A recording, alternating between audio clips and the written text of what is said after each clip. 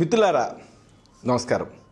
నేను doctor Chirumamilla Murali Manohar MD Ayurveda professor Hyderabad. ప్రపంచవ్యాప్తంగా ఉన్న మిమ్మల్ని అందరినీ కూడా ఇలాగా ఈ ఛానల్ ద్వారా కలుసుకున్నందుకు చాలా ఆనందంగా ఉంది. మీరు ఎక్సలెంట్గా రెస్పాండ్ అవుతున్నారు. అలాగే ఈ వీడియోని మీ సర్కిల్స్తో షేర్ చేసుకుంటున్నారు. చాలా చాలా సంతోషం.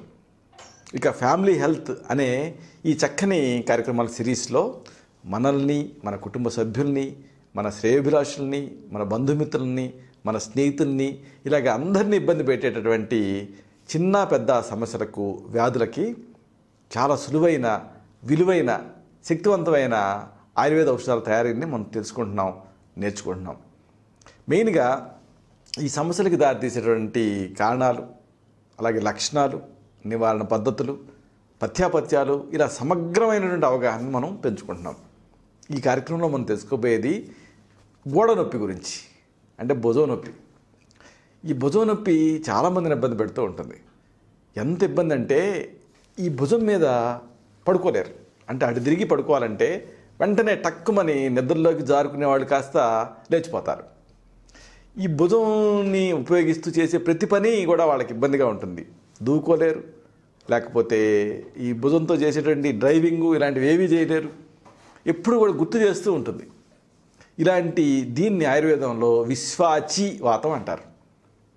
వైద్య పరిభాషలో బ్రేకియల్ న్యూరాలజీ అంటారు. అలాగే సాధారణంగా ఇది షుగర్ ఇలాంటి వ్యాధులలో వస్తూ ఉంటుంది కాబట్టి అలాంటి సందర్భాల్లో పెరి అంటారు. ఇలాగ దీనికి అనేక రకాల పేర్లు. అలాగే ఫ్రోజన్ షోల్డర్ అంటారు. ఇలాగా రకరకాలు. దీన్ని మెయిన్గా తగ్గించుకోవడం అనేది చాలా అవసరం. వాతం ప్రకోపించి భుజం తాలూకు వెనక పక్క నుంచి కూడా స్టార్ట్ అయ్యి ఇలాగ అరచేయి తాలూకు వేళ్ళ వరకు కూడా వ్యాపిస్తుంది ఇది. ఈ ఖండాలన్నింటినీ కూడా ప్రభావితం చేస్తుంది. దీంతో అవి పనిచేయలేని స్థితికి వచ్చేస్తాయి. చెయ్యి ఇలా ఎత్తినప్పుడు బాగా నొప్పిగా అనిపిస్తూ ఉంటుంది. ఇంకా ప్రధానంగా ఈ షోల్డర్ దగ్గర నుంచి ఈ వేళ వరకు కూడా నొప్పి వస్తూ ఉంటుంది. చెయ్యి లాగుతూ ఉంటుంది. ఇలాంటి ఈ గోడ నొప్పిలో ఈ విశ్వాచీ వాతంలో ఎలాంటి ఇంటి వైద్యం ఉంది? అలాగే ఎలాంటి ఔషధాలను ప్రిస్క్రైబ్ చేస్తాం? ఇలాంటి వ్యాయామాలు జాగ్రత్తలు ఉన్నాయి ఇవి తెలుసుకుందాం. ముందు ఇంటి వైద్యంతో మొదలు పెడదాం. ఇంటి వైద్యంలో అన్నీ కూడా మీ ఇంట్లో మీరు తేలిగ్గా తయారు చేసుకోగలిగేటువంటి ఔషధాలు. ఉదాహరణకు వేపాకు చాలా చక్కగా పనిచేస్తుంది. చాలామందికి వేపాకు సంబంధించినటువంటి ఐడియా రాదు. వేపాకుని తెచ్చి ఫ్రెష్ దాన్ని దాన్ని ఫ్రెష్గా బాగా కడిగి దంచి రసం తీయండి. ఇలాంటి ఈ వేపాకు రసాన్ని ఒక టీ స్పూన్ నుంచి రెండు టీ స్పూన్లు మోతాదు వరకు. అవసరమైతే ఒక టేబుల్ స్పూన్ వరకు కూడా తాగొచ్చు. ఉదయంసారి మధ్యాహ్నం ఒకసారి రాత్రికి ఒకసారి తీసుకుంటూ ఉంటే ఈ విశ్వాచి వాతం అంటే గోడ నొప్పి తగ్గుతుంది భుజం నొప్పి తగ్గుతుంది. ఇలాంటిదే మరొక మంచి ఔషధం దురదగొండి గింజలు. దీన్నే దూలగొండి అంటారు. అంటే మనం అలా కొండ ప్రాంతాల్లో వెళ్తూ ఉంటే ఈ ఆకు మనకి తగిలిందనుకోండి మెయిన్గా దాన్ని అది తగిలిన చోట విపరీతమైన దురద వస్తుంది. అందుకే దీన్ని దురదగొండి అంటారు. ప్రధానంగా ఆ గింజలపైన ఒక నూగు ఉంటుంది. ఆ నూగు తగిలితే ఆ దురద అనేది వస్తూ ఉంటుంది. నిజానికి ఇది థెరాప్టిక్.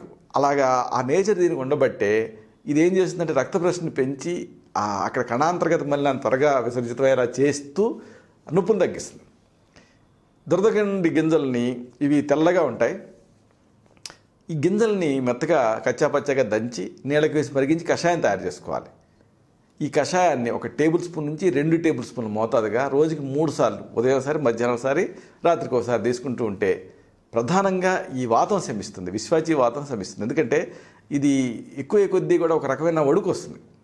అందుకే ఈ దురదగొండి గింజల్ని పార్కిన్సన్స్ వ్యాధిలో కూడా చాలా సక్సెస్ఫుల్గా ఇస్తూ ఉంటాం. ఎందుకంటే ఈ రకమైన వాతాన్ని తగ్గిస్తుంది కాబట్టి. ఇంకొక మంచి ఇంటి వైద్యం ఏంటంటే తుత్తురబెండ వేళ్ళు.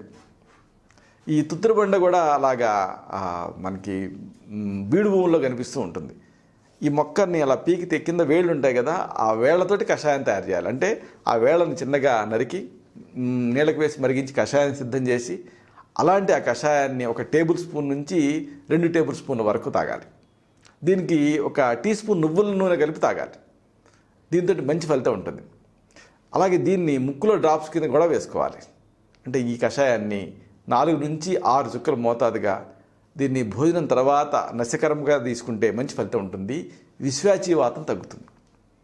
ఈ భుజం నొప్పి బాగా ఇబ్బంది పెడుతూ ఉంటే అప్పుడు మీ నాడి చూసి మీ తత్వాన్ని పరీక్ష చేసి మీకు మాత్రమే ప్రత్యేకమైన ఆయుర్వేద ఔషధాలు ఉంటాయి. వీటిని ప్రిస్క్రైబ్ చేయాల్సి ఉంటుంది. ఉదాహరణకు మహావాత విధ్వంసం రసం. వాతం బాగా ఎక్కువ ఉన్న సందర్భాల్లో దీన్ని ఒకటి నుంచి రెండు మాత్రలు వేడి నీళ్ళతో తీసుకోమని సజెస్ట్ చేస్తాం రోజుకి మూడు సార్లు. అలాగే బాగా ఇన్ఫ్లమేషన్ ఎక్కువ ఉన్న సందర్భాల్లో బాగా చెయ్యి ఎత్తలేకుండా ఇబ్బంది పడుతున్నప్పుడు యోగరాజ గుగ్గులు అనే దాన్ని సెలెక్ట్ చేసుకొని ప్రిస్క్రైబ్ చేస్తాం. రెండు నుంచి నాలుగు మాత్రలు. వేడి నీళ్ళతో రోజుకు మూడు సార్లు.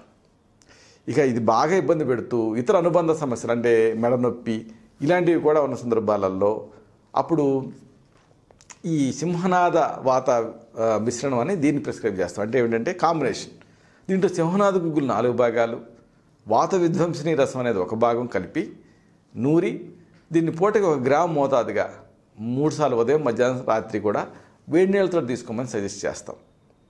అలాగే మహారాష్ట్రాది క్వాతం దీన్ని ఒక టేబుల్ స్పూన్ నుంచి రెండు టేబుల్ స్పూన్ వరకు కూడా రోజుకి రెండుసార్లు సజెస్ట్ చేస్తాం.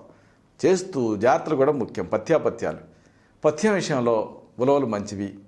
అలాగే మునగ మంచిది కాకరకాయ మంచిది పొట్లకాయ ఇంకా అల్లం వేడి నీళ్ళు వెల్లుల్లి ఇవన్నీ కూడా హితకరాలు పథ్యాలు. ఈ భుజం నొప్పి ఉన్నప్పుడు ఇవి తీసుకుంటే త్వరగా వీటి నుంచి భుజం నొప్పి నుంచి బయటపడతారు. అపథ్యాలు ఏమిటి అంటే భుజం నొప్పి ఉన్నప్పుడు పెరుగు తీసుకోకూడదు. చేపలు మంచిది కాదు బెల్లం మంచిది కాదు ఈవెన్ పాలు కూడా మంచిది కాదు.